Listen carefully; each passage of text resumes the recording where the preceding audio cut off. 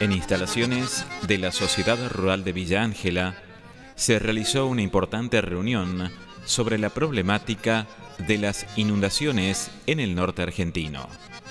De la misma participaron productores de la zona y dirigentes rurales, provinciales y nacionales.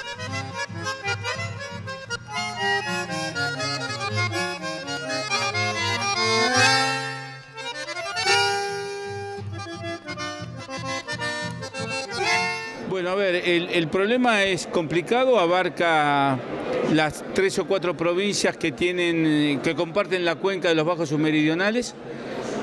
También Corrientes y Entre Ríos están teniendo problemas. Acá tenemos dos problemas graves. La zona agrícola perdió todo.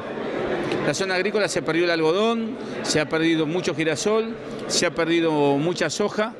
Eh, tenemos problemas de infraestructura, de gente que no puede entrar ni en tractor al campo y tenemos una pérdida ganadera que está indeterminada todavía, porque hay mucha hacienda que debería salir de los campos y no puede salir, hay hacienda que va a salir, hay hacienda que salió y está temporalmente en algún lado y hay que contenerla.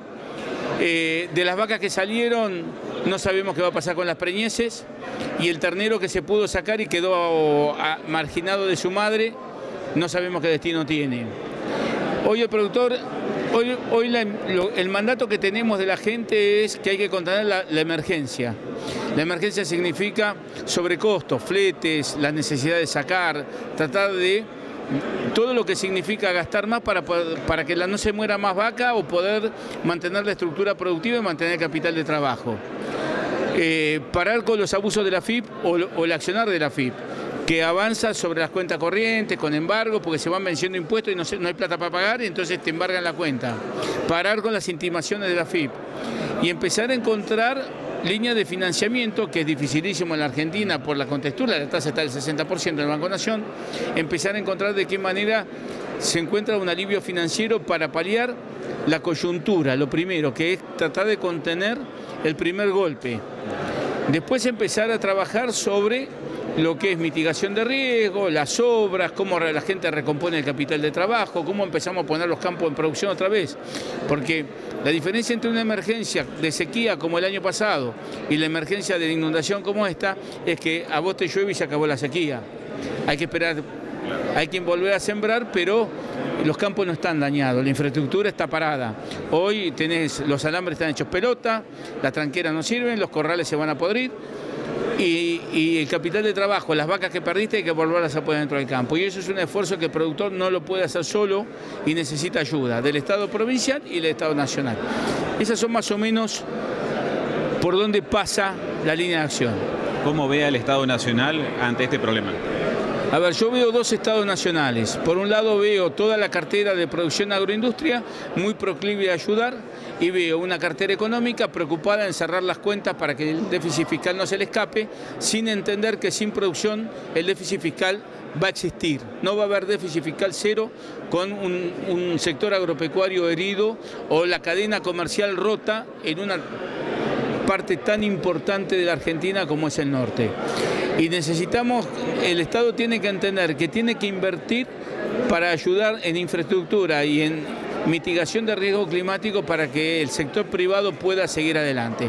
Esto pasa en todos los países del mundo, en todos los países del mundo el Estado se compromete, pero tenemos una conducción económica, Argentina vuelve a tener un superministro de Economía como en la época de Caballo, en donde ya las decisiones no son políticas, sino que son de Hacienda y de una economía tergiversada en la función de que las cuentas cierren y no entiende que las cuentas podrán cerrar, pero que si el aparato productivo está muerto, esto va a ser un cementerio. Tiene que haber gobierno nacional y gobiernos provinciales trabajando en conjunto, ¿se puede esto? Tiene que estar el gobierno nacional, gobierno municipal y gobierno eh, provincial, municipal y nacional trabajando todos juntos, entendiendo de que eh, la billetera del productor es la misma. Podrá haber distintas oficinas, pero la billetera del productor es la misma. Y que el efecto es el mismo. Si mañana rechazan un cheque, el cheque puede, puede haber ido a Córdoba, a Santa Fe o a Rosario. La ruptura de la cadena de pago de una zona del país como el NEA o del NOA genera un, vacío de actividad en toda, en toda la Argentina. ¿Cuál es su principal recomendación a los productores que están atravesando una situación tal vez que ya lo han pasado antes, pero bueno, hoy es la de hoy?